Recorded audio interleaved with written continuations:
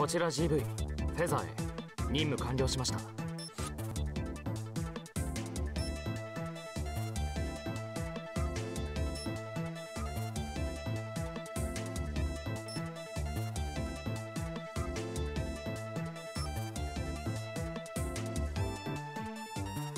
お疲れ様 GV ねえ GV 結局のところあなたが受ける依頼ってほとんどうちからのものなんだしまたフェザーに帰ってくる気はないの？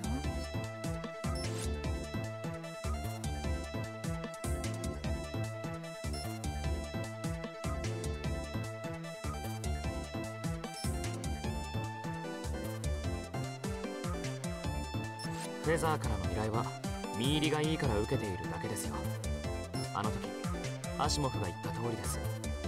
フェザーにシアンの居場所はない。彼女には家族が必要だと思うんです。僕にとってのアシモフやモニカさんたちがそうだったみたい。にだから今は彼女についていてあげたいと思います。分かったわ。ごちそうさま。シアンちゃんによろしくね。ごちそうさまって別にそういうわけじゃ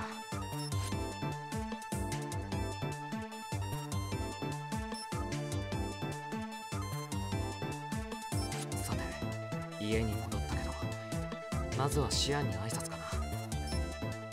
おかえりなさい GV お仕事お疲れ様。本当は私も何かできたらいいんだけど。シアンは十分に僕の力になってくれているさ。こうやって君と話をしてからミッションに行くと。ミッションで倒れた時にモルフォの歌が聞こえてくることがある。そんな時は僕はもう一度立ち上がって戦うことができるんだ GV 私たちはいつも GV のことを思っているから。それがあなたに伝わっているのかもね。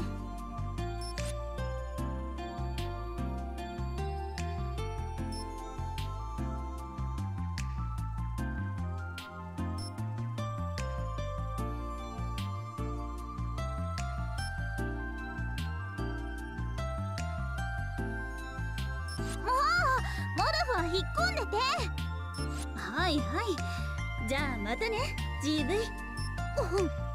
そうだ GV セーブまだしてないでしょ？このゲームはオートセーブじゃないからこまめにセーブしなきゃダメだよ。了解。